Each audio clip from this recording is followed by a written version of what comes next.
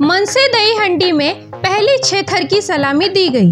आपको बता दें, आज पूरे महाराष्ट्र में आज दही हंडी उत्सव बड़े ही उत्सव के साथ मनाया जाएगा। इसी की धूम सभी जगह देखने को मिल रही है। शिव समृद्धि सोसाइटी गोविंदा पाठक ने थाने में पहली सात थर की सलामी दी और सूर्योदय गोविंदा पाठक द्वारा छह थर की सलामी दी गई। ये दोनों ही सात और छह थर की सलामी महाराष्ट्र नवनिर्माण सेना के थाने अध्यक्ष अविनाश यादव के नौपाड़ा इलाके में दी गई। सुबह से इंद्रदेव इस दही हंडी में शामिल हो चुके हैं।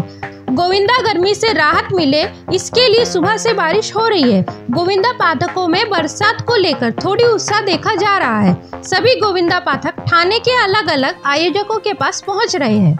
आज भी हमारे लोगों में उतना ही उत्साह है।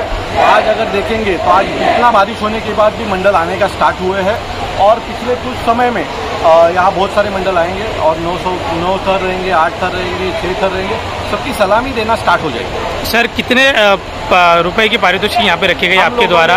जो नौ थर लगाएँगे उनको ग्यारह लाख रुपए देंगे जो सामूहिक रहेगा जितने भी लोग लगाएँगे उनको उनमें बांटा जाएगा।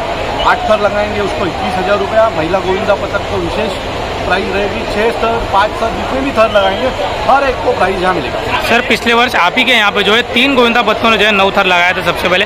क्या लगता है उस नौ थर को तोड़ा जाएगा इस बार? पाँच गोविंदा पथक नौ थर लगाएँगे।